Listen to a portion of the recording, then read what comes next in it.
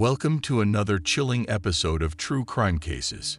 In an eastern suburb of Christchurch, New Zealand, a seemingly ordinary house hides a dark and twisted secret. The crime committed within was so sickening and depraved that even investigators and psychologists do not fully understand the rationale behind it. This is the story of what happened inside that house. But before we begin, please smash that like and subscribe button. Your support means a lot. Disappearance. On September 26, 2008, a cool Thursday morning, the Bower Tavern in Christchurch is alive with chatter. The clinking of glasses and distant laughter fills the air. A 28-year-old beautiful woman, Tisha Lowry, steps out of the front door to return home after spending some quality time with her grandfather. The two are very close, and she is looking forward to his birthday celebration tomorrow. She doesn't usually get to spend much time with him, but recently, she moved in because she wants to take a break from her 48-year-old boyfriend and reflect on some issues they have been having together. She has no idea that this is the last time she will ever see him or anyone else. Tisha does not show up for her grandfather's birthday celebration the next day. Her mother, Tanya, is troubled by her daughter's absence and finds it very unusual. Her first thought is that Tisha is with her boyfriend, and she decides to give her some space. However, when she contacts Tisha's boyfriend the following day, she is alarmed to learn that he hasn't seen or heard from Tisha for days. Panic now sets in, prompting the family to contact the police and report Tisha missing.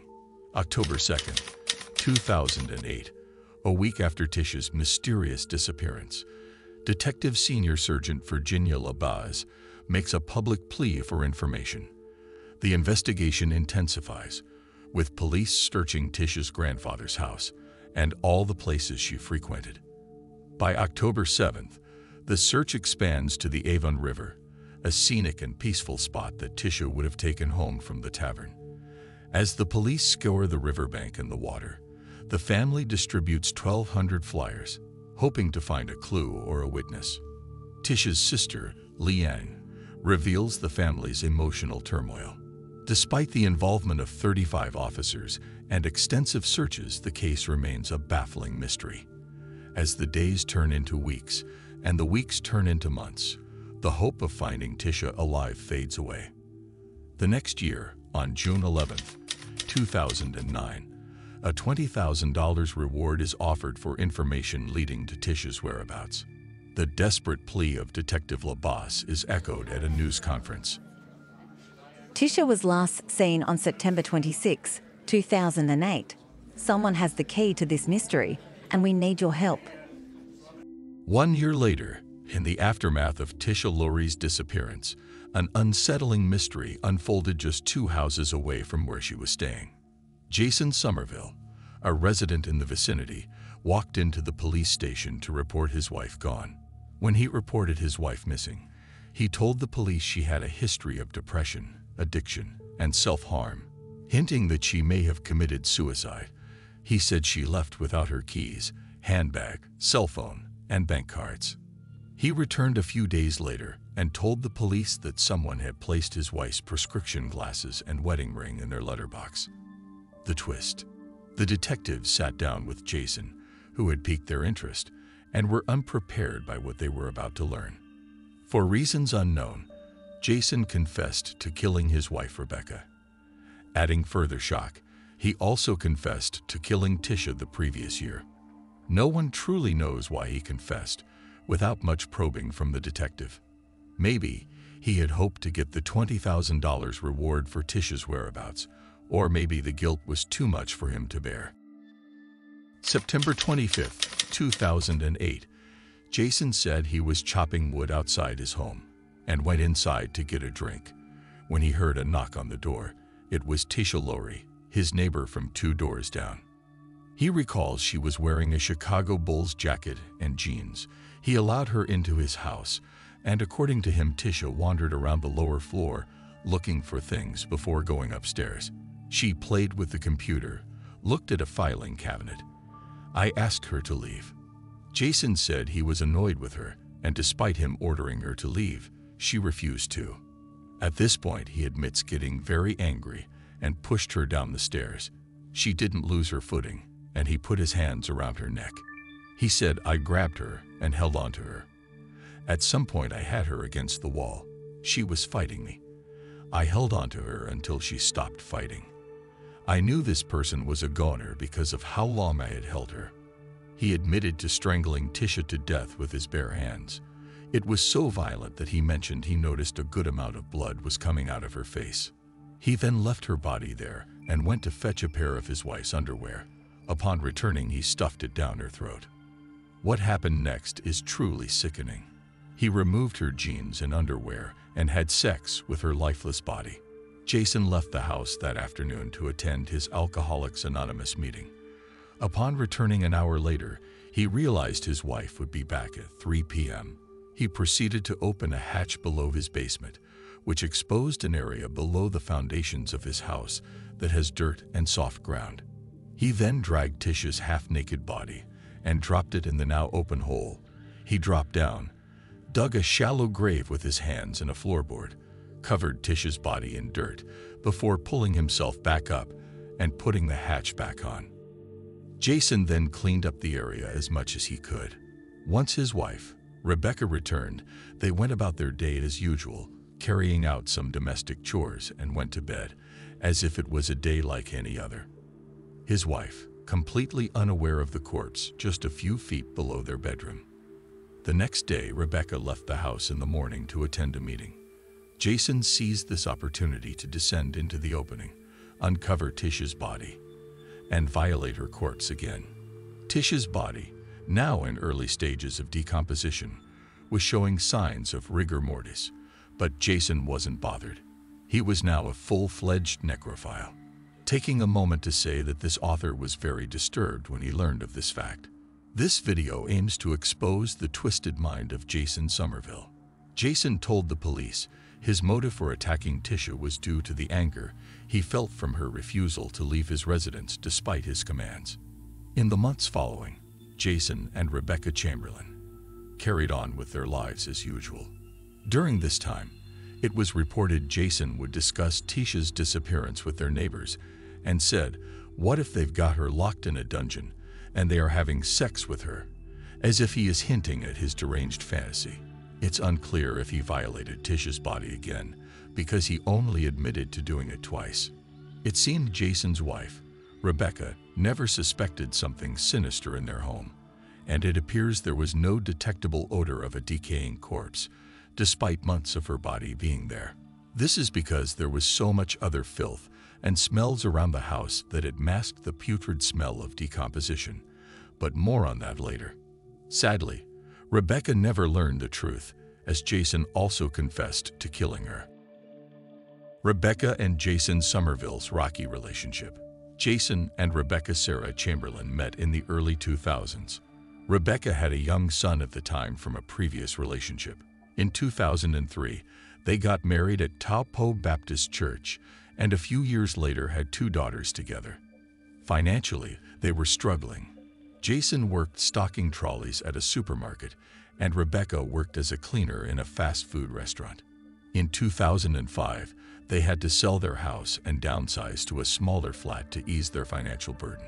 According to the person who purchased their property, Jason was a very jittery, anxious person, and the home was filthy and damaged, with walls and doors that looked like they had been kicked in or hit with a hammer. There were also feces on the carpet. It could hardly be called a home. In 2010, an article would be published stating a neighbor of the Somervilles had described overhearing Jason speak to his wife and kids in a brutally disgusting manner. He said, he was a bloody mongrel. I heard him one day yelling abuse at his kids. I wouldn't speak to my dogs like that. And I told him if I heard him speak like that again, I would drop him on the spot. He treated his wife and kids like shit. She seemed petrified of him. He seemed in complete control over her, big mouth, no guts. Around late 2005, they took custody of Jason and Rebecca's children.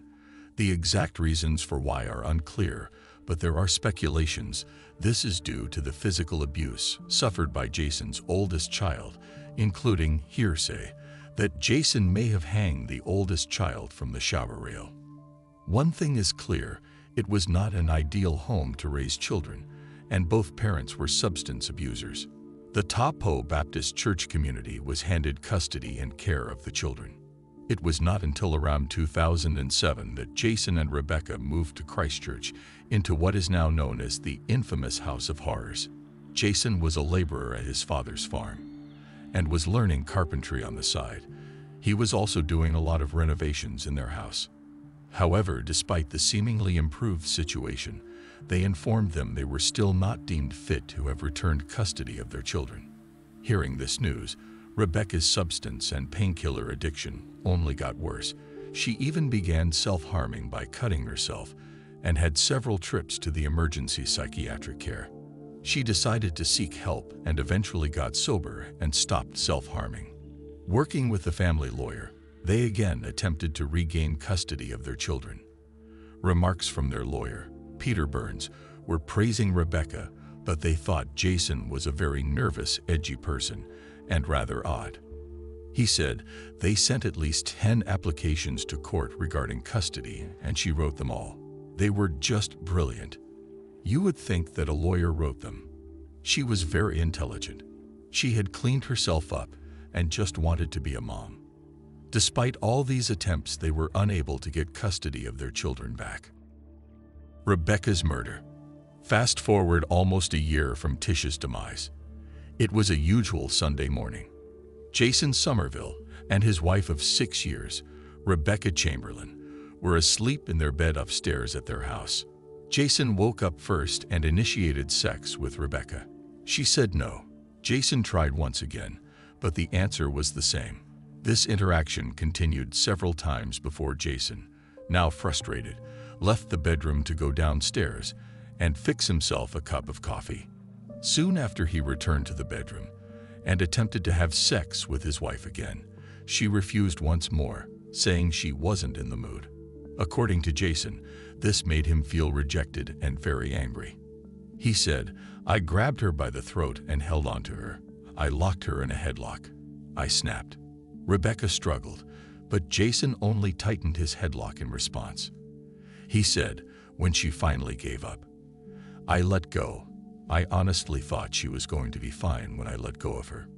He then left his wife unconscious in the bedroom and went to relieve himself in the toilet. After returning to the bedroom, he was surprised to see Rebecca still unmoving. He checked for a pulse on her neck, but couldn't detect one. Instead of trying to revive her, he did the opposite. He placed his hands firmly on her neck making sure to apply firm downward pressure from his fingers and thumb on her arteries. This ensured she would never regain consciousness. He had obliterated all hope of reviving her. He had killed once again, this time his own wife, and ensured she stay dead. Jason said, It's the first time I've actually had someone die after I've let them go after doing that. I don't understand why the hell she died. I mean, shit, when you let someone go, they're supposed to live man, and then I initially tried to cover my tracks. It seemed Jason's only concern was himself and didn't care if his wife lived or died. In fact, he made sure she wouldn't survive after he brutally reacted to her refusals to have sex with him. Then he stuffed her panties down her throat and proceeded to have sex with her body. Deja vu for what he had done to Tisha less than a year ago. Once he was done, he said, Quote, I kissed her on the forehead and said goodbye to her. I panicked. I dragged her off the bed, dragged her downstairs. I was more worried about the trouble I would get into. And it was crazy. Like Tisha, he dug a shallow grave below his house and covered Rebecca's corpse with dirt, burying her next to Tisha. According to the police, Jason Somerville exhibited moments of remorse expressing bewilderment at his own actions during the interview. In his own words, I don't understand. That's two lives I know I shouldn't have taken. I honestly don't understand it cause it goes against each, everything I've been taught. September 7, 2009. After the confession, The New Zealand police went to the property to dug up Tisha Lowry and Rebecca Chamberlain's body that night. They had informed Tisha and Rebecca's family. Tisha, who was of Maori origin, had family and members of the community perform the haka, a dance likely to honor and respect her soul.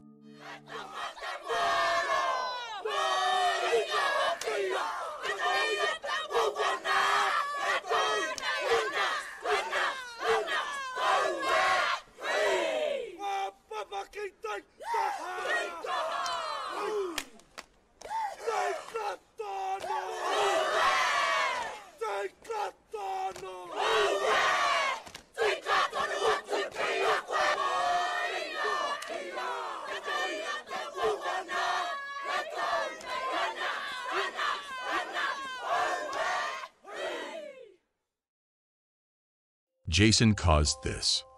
But who was Jason Somerville? Let's try to unravel his past and uncover the forces that may have propelled him towards the abyss of such unspeakable crimes. Jason Paul Somerville was born on January 20th, 1976, in Christchurch, the eldest of four children to Graham and Rosemary Somerville.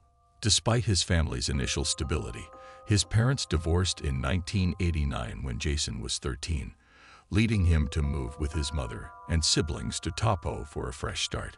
However, financial struggles persisted despite Rosemary's involvement in the Mormon church. In Taupo, Jason attended school but faced difficulties. He was illiterate and perceived as slow by his peers, enduring bullying due to his mother's mental illness and his own struggles. His reactions to bullying sometimes turned violent.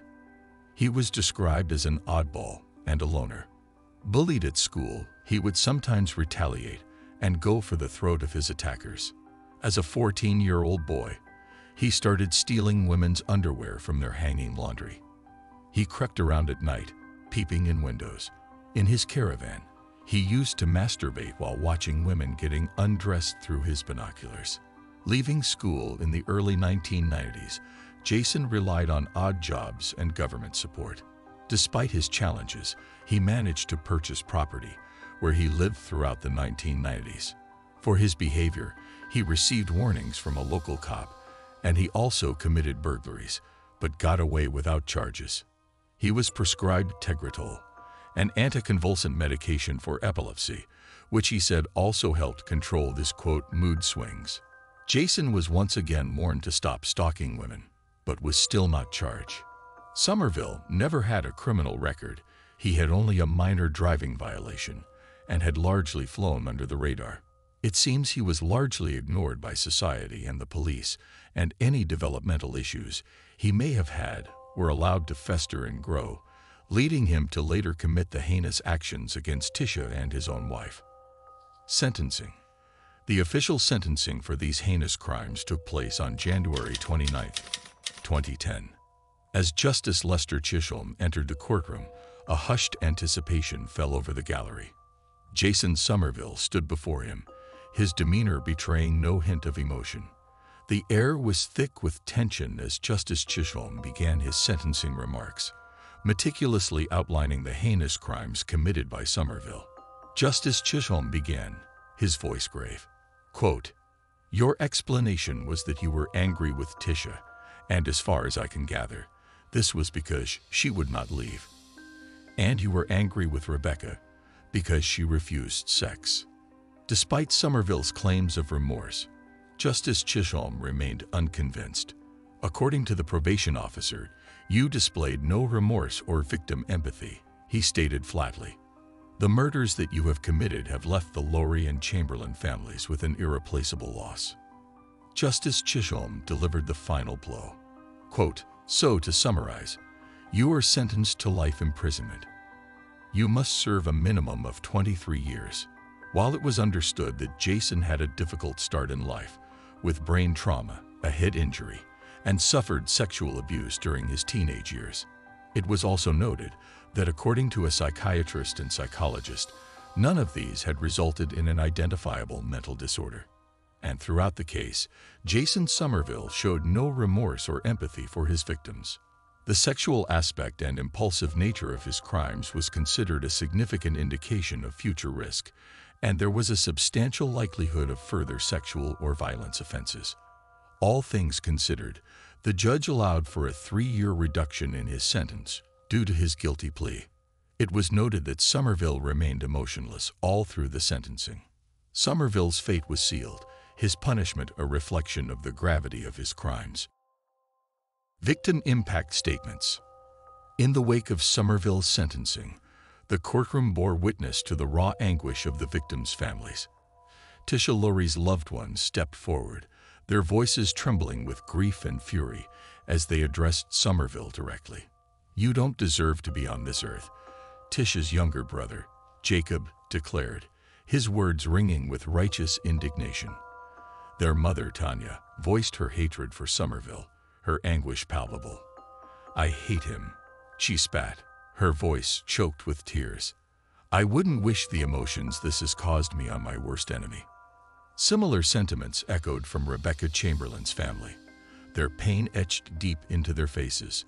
A poem penned by Rebecca herself served as a poignant reminder of the vibrant life extinguished by Somerville's hands. I am not a mistake. Her words echoed through the courtroom, a testament to her resilience and strength. Through tear-stained eyes, Rebecca's mother and father shared their heartache with the court, their voices trembling with sorrow. I really miss Rebecca and feel lost without her in my life. Her father's words hung heavy in the air, a poignant reminder of the irreplaceable void left in the wake of her senseless death.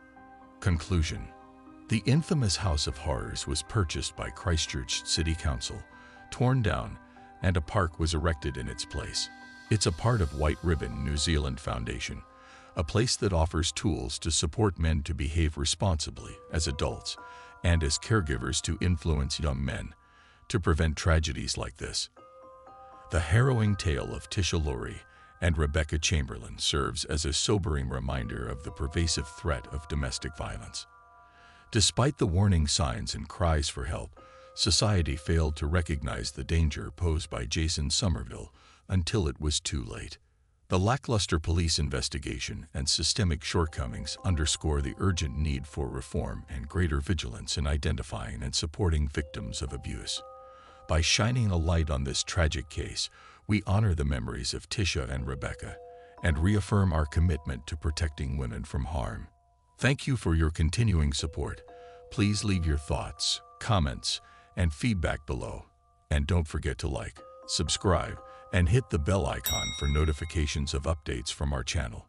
Your support empowers us to continue our work and shed light on more cases.